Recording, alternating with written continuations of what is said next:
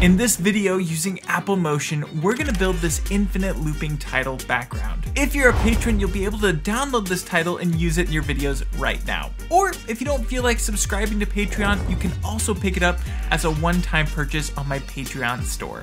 Of course, the first thing we need to do is open Apple Motion. From there, I'm gonna select the Final Cut title and I'm gonna set the preset frame rate and duration to whatever I typically like to work with inside of Final Cut Pro. For me, I'm just gonna set it to 29.9 7 and push open. From there, I'm going to select the title background and type text here layers and delete them. After that, let's first add a backdrop. So Going over to our generators under the library tab, we can see down here that we have the gradient generator. Go ahead and click and drag that into the group. Let's rename this group to be background. From there, I'm gonna select the gradient. And if we want to adjust this gradient, the very easiest way to do that is to come down to the arrow tool and then select the adjust item tool. Now that we've done that, we have these on-screen controls and I'm just gonna drag them into position for how I want this gradient. After that, we can go on over to the inspector and locate the gradient. Let's expand the gradient and then I'm going to select each of the colors I want to work with. We can see that the brighter color is in the top right corner. Let's go ahead and set that to a nice light blue. And in the bottom left corner, I want this to be a very dark blue or even maybe black somewhere in there. That's looking really nice. After that, I want to add a bit of texture. So with the gradient selected, let's go up to filters then we'll go down to stylize and select add noise. It's gonna look like an ugly mess, so let's jump over to the left side. We can bring the amount way down. Let's change the type over to pink noise. We'll make it monochromatic. Then we can change the blend mode over to overlay. And then we can adjust our amount slider as necessary. And finally, I don't want this to be animated, so I'm going to disable auto animate. So now we have this gorgeously textured backdrop and it should be good to go. Let's collapse the background layer, right click, select new group, and now this will be our title group. With the title group selected, let's come down and select our title tool. I'm going to click anywhere in the viewer and just type in whatever word I want to write. After that, let's go over to the left and find our size parameter and scale that up to a place that we're happy and we can also adjust the alignment to be centered. From there, we're gonna go on over to the properties panel and locate the position. Right now it's off to the left side, so let's just right click on the position parameter and select reset parameter so it's directly in the center. Now with the subscribe text, we need to create the infinite versions of it in the backdrop. And we're gonna do this using a clone layer. A clone layer is exactly like the original layer, but we can apply special effects to it that will not affect the original layer. So what I mean by that is let's select our subscribe text,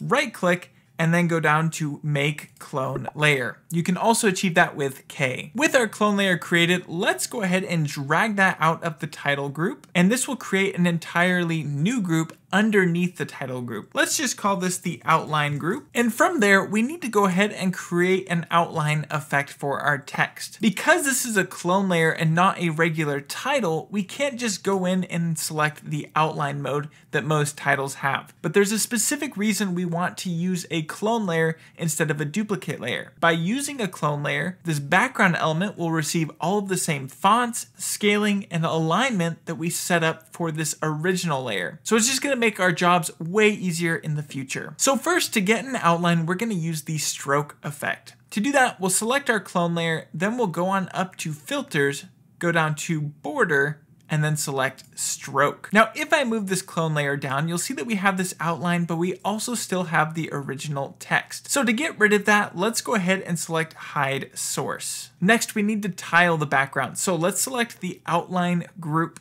From there, we'll go up to filters, go down to tiling, and then select tile. You'll immediately notice a problem though. It's only tiling where our text is at the moment, and we want it to be over the entire backdrop. That's because right now, Apple Motion sees this outline group as the same scale as the subscribed text but we want it to see it as the scale of our entire project. This is super easy to fix. We'll just select the outline group, then we'll go over to the left side under fixed resolution and check this box. So now Motion knows for sure that this group is the size of our entire project. Right now we have a whole bunch of tiny titles though, and we want them to be roughly the same size as the original. So let's go into the tile settings, and we're going to select the scale. Right now it's set to three. Let's set this to a value of one, and now it is exactly the same scale. Additionally, I want to adjust the skew to make it look like it's going off at an angle. So we can just drag this up to a place where we're happy. I'm like in 0.25, that looks pretty nice to me. Finally, I don't really want the titles to be this close to the original position of our first title, so let's just go ahead and offset that by dragging it somewhere in here. Next, I want to make it so this text is slowly drifting off to the top right corner. To do that, we'll go over to the left side under our tile parameter and locate the center value. From there, we can go to the right side, clicking this down arrow, we'll select add parameter behavior, and we're going to select rate. With the rate parameter, it's going to continually add to that center parameter, thus giving us a nice continuous animation. We just need to tell it how fast to move. Now, if I set this all the way up to one, it's gonna go really, really fast. So we just need to set this to something like 0.01. And now it's got a nice slow drift to it. I also want to integrate it a bit better with the backdrop. So to do so, let's find the stroke filter that's been applied to the clone layer and we'll change the color. I actually happen to really like how setting it to white looks. You can do whatever you want. But additionally, I want it to blend in with the backdrop. So we're gonna use a blend mode to achieve that. We'll go up to the outline parameter, we'll go over to properties, and we'll locate the blend mode. Let's change it from normal to overlay. So if you ask me, this is looking really nice, but there's a few other steps I wanna take to bring it to that next level. But before we do, I just want to quickly mention that I'm super excited to announce I recently released my Apple Motion Masterclass. If you want to take your skills from knowing absolutely nothing about Apple Motion all the way to being able to use it in your everyday professional life, then you're definitely going to want to check it out. I have a discount for 20% off as a thank you for watching this video, which you can find in the description. That's enough sales pitch. Let's polish off this title. I want to make it look like this background has a depth of field effect on it. So to do that, let's select the outline layer. Then we can go up to filters, go down to blur, and then select gradient blur. That's gonna give me these on-screen controls, which I can just quickly adjust to our liking.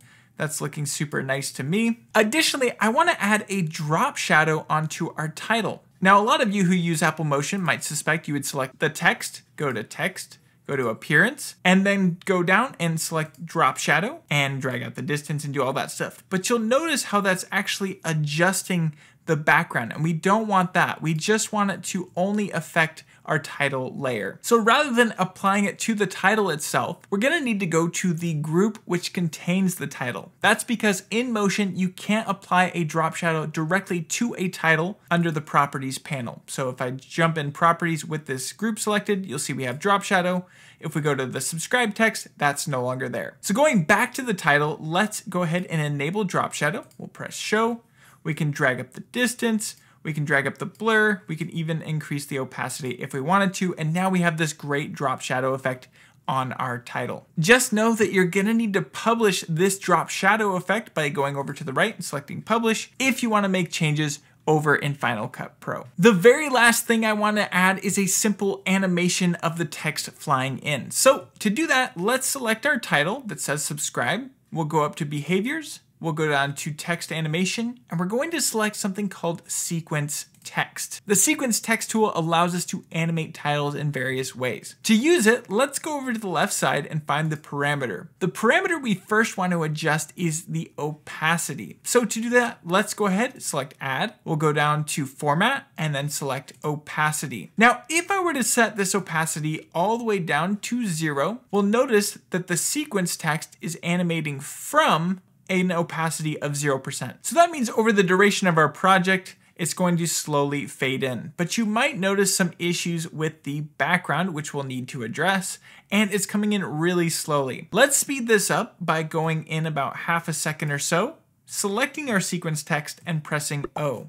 So now it'll come in much faster, just like so, but it's still creating all of this chaos in the background. That is because when the opacity is set to zero, Apple Motion doesn't see any additional letters in this text. So you'll notice, taking a look at the background, it says subscribe and it doesn't have the last two letters. So to fix this, we can actually go to our opacity and just set it to a value of 0.01. So it's nearly zero, but you'll notice now that we have all of the proper spacing that we need as the title is being written on. Additionally, I want this to slowly animate into position, so let's go to the parameter. We'll select add, format, position. And on the Y value, so it's going down, we can go ahead and just set this to a negative value. And now if we push play, we can see all the text flying in. I definitely want to make this a little bit smoother, so let's go to the spread and drag that up a bit. And that's looking nice. I also want to add some easing, so let's go over to the speed and change it from constant over to ease both. And I might even extend out the sequence text just a little bit so it's a little slower. So that is looking super cool if you ask me, but if you don't want the animation to also apply to the backdrop, you only want it on the primary title, there's a super easy fix for that. All we need to do is go to our outline group, which contains the clone layer. Then we'll go up to filters, we'll go down to time, and we're gonna select scrub. After that, we're gonna change it from offset from current frame over to first frame. And then we can just drag this value up to a place where we're happy with the animation. You'll notice though that the background is no longer moving. That is because our tile filter is below the scrub filter. So in motion, everything's rendered from bottom to top. So to fix this, let's just drag our scrub filter down below the tile. And now if we push play, we can see everything is animating as it should, but the subscribe text also receives that intro animation. Finally, if you want to send this over to Final Cut Pro to use over and over again, you can push Command S to save and just call it infinite title and throw it into whatever category you like. I'll throw it into my tutorials category and push publish. What's super great about this title is because we used a clone layer setup, we can simply select our subscribe text, go to text, go to format, and now I can write anything I want. So we can just type in like and subscribe. And now all of the titles in the background will also reflect those changes. If this video was helpful to you, please consider pressing that like button as it does help tremendously. Also, make sure you check out my brand new Apple Motion Masterclass if you want to take your knowledge of Apple Motion even further. Thank you so much for taking the time to watch this video. And with that being said, I cannot wait to see you in the next one.